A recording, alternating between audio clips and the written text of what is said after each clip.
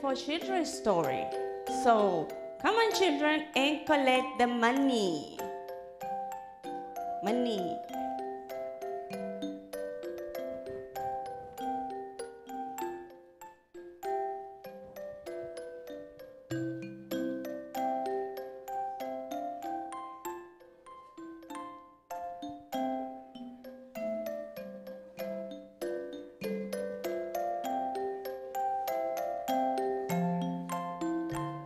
Don't forget to say thank you.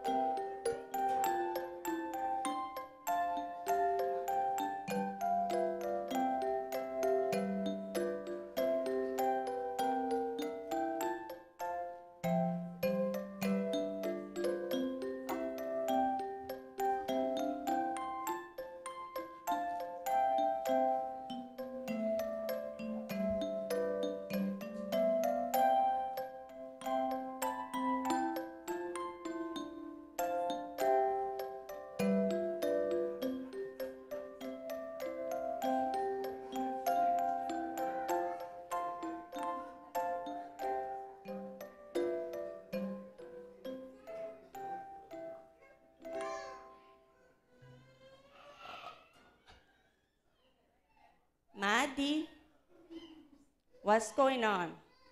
Okay, the children's story this morning is called Keeper the Light.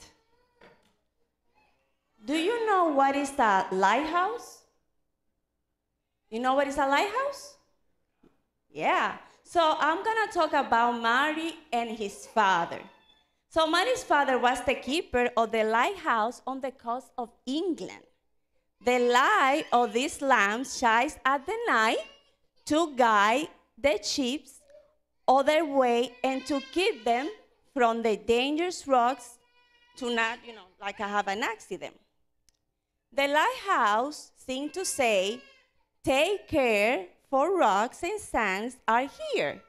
Keep a good lookout and mind how you sail, or you will be lost. One afternoon, Mary was in the lighthouse by herself. Mary's father get ready everything for the night, and in the evening he said, Mary, I need you stay in the lighthouse because I had to go some shopping, some food because they need some grocery. So to the way to go to the to the town, he had to walk through a road, but he have to do it early because you only have to their road have to use it only like three or two hours per day because when the evening come down, the water from the sea take up take the road too. So um, Mary, it, it was only Mary and her father because sadly her mother passed away. So when Mary's father go to the grocery store and Mary stay in the lighthouse, guess what happened? That was few minutes behind some rocks, waiting for Mary's father. They knew Mary, Mary was by herself in the lighthouse, but the, the other thing too was they always people, men, try to steal because the ships they coming from the sea to a, a safe place, they bring things with value. So they think, well, I'm gonna take from them so I can sell it.